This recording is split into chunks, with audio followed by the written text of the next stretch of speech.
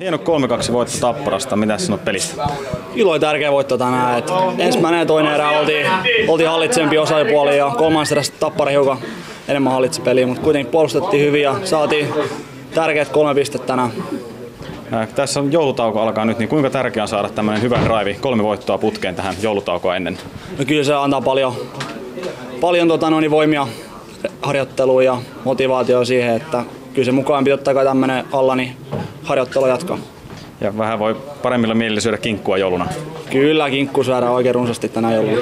Ja Tepsillä on tämmöinen kummallinen tai tilastokummajainen, että kotona on ylivoima, ylivoima ollut aika huono ja vieraassa taas loistavaa. Tänään ilmeisesti toimia sait itsekin siinä yhden maalin heittää, niin onko nyt ylivoima lähtenyt ku- kulkemaan myös kotona? No kyllä se ylivoima aina kovin hommi vaatii, että tänäänkin Tapsa voitti aloituksen sen taakse ja mä vaan toimitin kiekkomalle ja tällä kertaa sattuisi menemään. Et ei, välillä se vaatii pientä onneakin, että se menee sinne. Et kyllä se täytyy vaan kovin tää hommi, että me saadaan, saadaan laukauksia ja tilanteen sinne maaliin ja sitä kautta maaleja.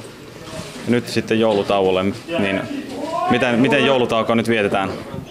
No kyllä tässä nyt otetaan pari päivää ensin happea ja lähdetään faniristelyyn fanien kanssa nyt ja sitten treenataan kovaa ja joulun aikana otetaan pikkusen lepoa taas ja sitten alkaakin pelit taas joulun jälkeen. Yes, Hyvää risteilyä. Kiitos.